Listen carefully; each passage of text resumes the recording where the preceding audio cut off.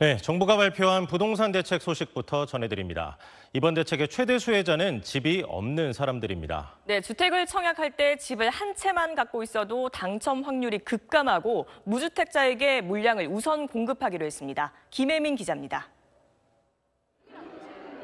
30대 직장인 주모 씨는 2년 전부터 꾸준히 주택 청약을 넣었지만 매번 떨어졌습니다.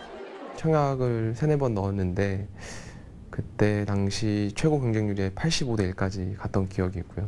추첨제니까 되면 좋겠다라는 생각은 있었지만 거의 반포기 상태로 넣었 하지만 9.13 대책으로 무주택자들이 집을 갖게 될 가능성이 높아졌습니다. 현재는 투기과열 지구내 85제곱미터 초과 주택의 50%, 조정 대상 지역의 85제곱미터 이하 주택 25%, 85제곱미터를 초과하면 70%를 추첨제로 뽑고 있어 무주택자에겐 상대적인 이득이 없습니다. 정부는 앞으로 가점제 아파트와 함께 이런 추첨제 아파트도 무주택자에게 물량을 우선 공급하기로 했습니다.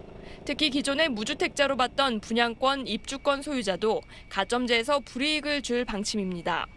또 무주택자의 대출 규제는 그대로인데 반해 집이 한 채라도 있다면 규제 지역에 집을 살 때 2년 내 기존 주택을 파는 조건이 아니면 대출을 받을 수 없습니다. 무주택자들은 추첨제 물량에서도 우선 배정을 받기 때문에 기존 매매 시장보다는 분양 시장에 더 관심을 가질 것으로 예상이 됩니다. 반면에 집 한 채 있는 사람들은 청약을 통해 집 넓히기나 다른 지역으로 옮기는 게 현실적으로 매우 어려워졌습니다. SBS 김혜민입니다.